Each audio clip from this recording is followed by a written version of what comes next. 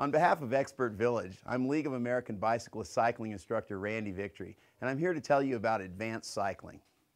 Okay, and the other thing is to be involved. Uh, Andy Clarke, the executive director of the League of American Bicyclists, has often said the reason we have poor condition for cyclists is because we're really not at the table when a lot of transportation decisions are made. One of the ways you can do that is getting involved with your city council, getting involved with the local tr transportation committee. Just show up at a meeting and raise your hand when it looks like a roadway is not going to be wide enough.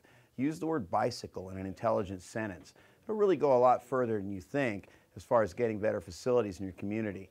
Once you've done that, there are grants available at the federal and state level, transportation enhancement grants and safe route to school grants that can put your, really put your community on track. Don't be afraid to visit your local motor vehicles department and give them copies of whatever safety material is available in your state. Here in Arizona, we have Share the Road and Street Smarts. This one's for bicyclists and this one is to educate motorists. That'll go a long way towards getting you a little bit more involved and getting you out there safely.